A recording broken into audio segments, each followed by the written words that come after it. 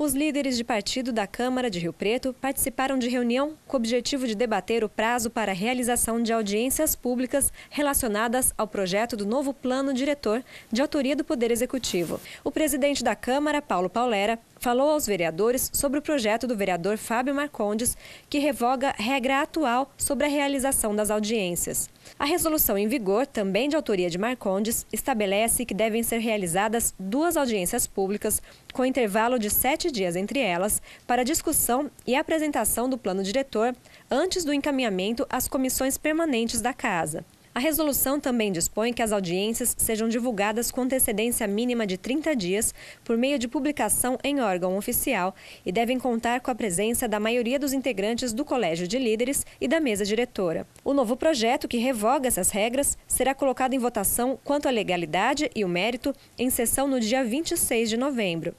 Se for aprovado, o projeto do plano diretor ainda será tema de audiências públicas, com participação de membros do Poder Executivo e setores interessados, mas poderá ser votado ainda neste ano. Nós temos regras atuais é, que foram colocadas e aprovadas do projeto do vereador Fábio Marcondes, que agora o próprio vereador está revogando essas regras, por uma necessidade de se votar esse plano diretor o mais rápido possível eh, vão ser votadas na próxima quinta-feira, numa sessão ordinária, a legalidade e o mérito. Aprovando né, a revogação das atuais regras de hoje, a gente já começa a contar o prazo eh, de publicação para emendas,